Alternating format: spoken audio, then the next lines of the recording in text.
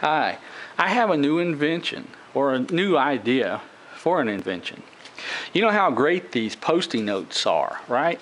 You write on it, hey, Joe, you know, you write on it, you stick it on the board, and it's great. It's on the refrigerator, so Joe sees it. Okay.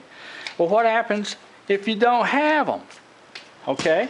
Now, let's say you want to find some coupons and you say, well, I need to put them somewhere. What am I going to do with it? Well, what you do is you put them on a board on the refrigerator. Well, you got to have the right material to put on there. Well, this right here is a sticky roller. It's got a silicone type of material on it that can be washed and cleaned. Well, if you take this material and put it on the board and put it on the refrigerator, then you could stick anything to it. You could say, you could stick anything on there. See that? Look at that. That's stuck. That's stuck. See that? Okay. You could put your Hey Joe on there. You could put your pen on there. You can see that, right? That's cool, okay? So if I wanted to put my pen up there, I'll always have it, okay? Or I can put my little things here on it. Now that's always there.